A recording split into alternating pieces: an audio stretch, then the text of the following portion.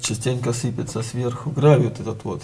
Может, не знаю, вот видите, валяется. То, что убираем просто постоянно каждый день, что-то сыпается у нас. Жизнь в собственной квартире для Александра – настоящая борьба за выживание. Каждый день в комнатах появляются новые трещины. Молодой человек признается, дома страшно находиться.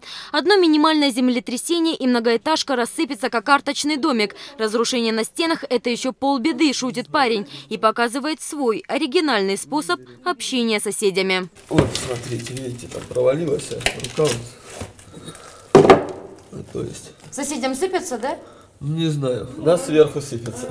Такие проблемы в каждой квартире. У одних дыры в полу, у других проседают окна и двери. Старшая по дому показывает свою прихожую. Светлана Алексеевна рассказывает. Сидела дома и внезапно услышала сильный треск. Оказалось, это пол разошелся по швам. Длина пролома около 10 сантиметров, ширина больше двух. Самое интересное, что их многоэтажку, рассказывает женщина, ремонтировали полгода назад. Сделали стяжку всего дома, но, по всей видимости, это не помогло, раз дом опять начал разрушаться. Мы хотим добиться, чтобы вот эти повреждения, которые пошли после стяжки, хотели, хотя бы помогли престарелым жителям и в местах общего пользования, хотя бы за счет администрации или управля- управляющей компании. Жильцы уже сознанием дела говорят о проблеме своего дома. Они уверены, все неприятности из-за того, что застройщики при возведении соседних многоэтажек не обратили внимания на грунтовые воды.